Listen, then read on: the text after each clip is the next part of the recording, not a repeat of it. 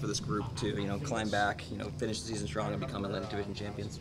Yeah, I think it's uh, great all year. We battled all year and had a great season, and uh, now looking forward to the postseason. It's uh, feels weird being done, but I mean. Uh, it's a lot of fun uh, the postseason, so we're looking forward to it. For yourself, how much did you want to get one game in before the playoffs, maybe get back into that that feeling, that rhythm?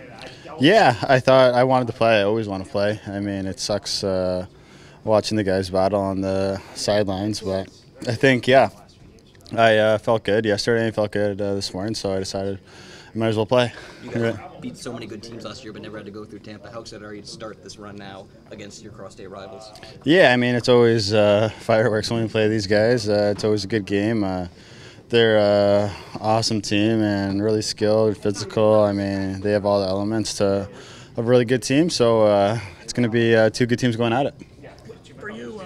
Does it hit you that you're back in the playoffs? Does that not come until like night of game one, or are you already in playoff mode right now? Uh, it's definitely not in playoff mode yet. Uh, I, yeah, I think right before the game, be, probably the night before, uh, you start thinking about it and what you got to do the next day. I think that's even from even just from now. I think uh, start uh, picturing kind of playing who you're playing and uh, what you got to do to be successful. And I think that's kind of. What happened in that second period? I think you guys led them 29 to three in shots. You guys just really took over in that period.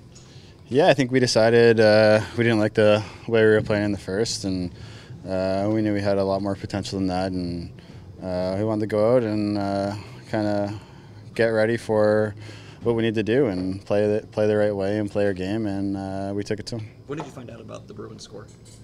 Uh, after the game, or actually in between second and third, everyone kind of knew, and I don't think it really changed much. We just wanted to play our game and uh, we are kind of focusing on what we need to do.